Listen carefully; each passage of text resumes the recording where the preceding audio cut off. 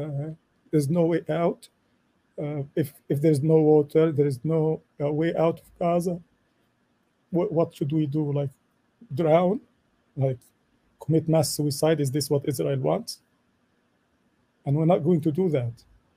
And I was telling some somebody, some friend the other day that I'm an academic. I probably the toughest thing I have at, at home is an expo marker. But if the Israelis invade, if they barge at us, charge at us, open door to door to massacre us, I'm going to use that marker, throw it at the Israeli soldiers, even if that is the last thing that I would be able to do. And this is the feeling of everybody. We are helpless. We have nothing to lose.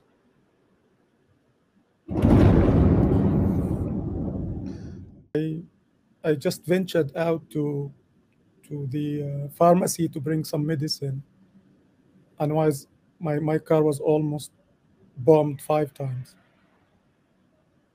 Just just driving for five minutes.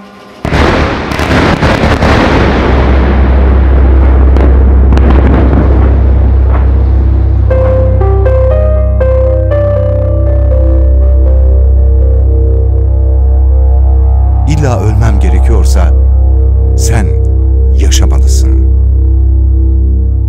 Hikayemi anlatmak için.